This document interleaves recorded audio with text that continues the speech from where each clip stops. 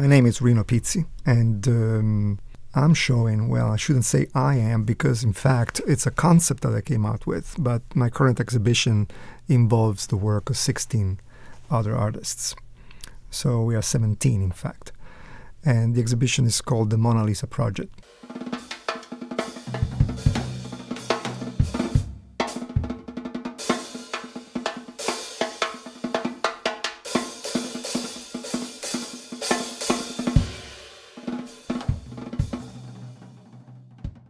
Well, initially I was really um, intrigued, and I have been for a long time, by Mona Lisa in many different ways. You know, I'm more intrigued by the resilience of this um, piece of artwork, and it's basically probably the single most famous example of high art.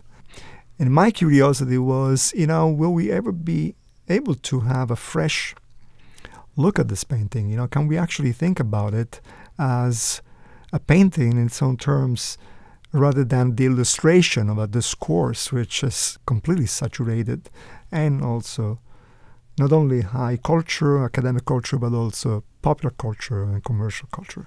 So I was thinking, you know, maybe it would be like an interesting thing to play this game.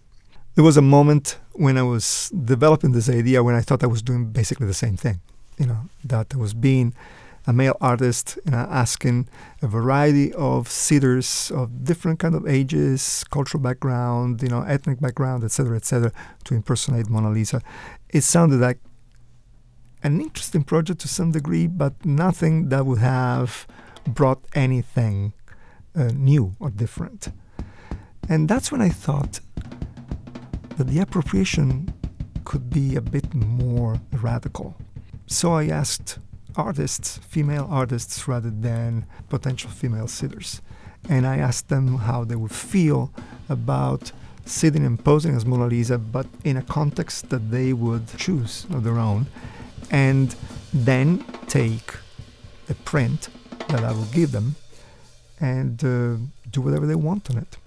They all did it, and I think they did it in an extraordinary way, you know, way past my imagination. I mean, I've learned a lot in the process myself from each one of them. Every one of them was, you know, a contribution and approach to this idea that turned it into a real cultural experiment. Um, but the work they did was extraordinary.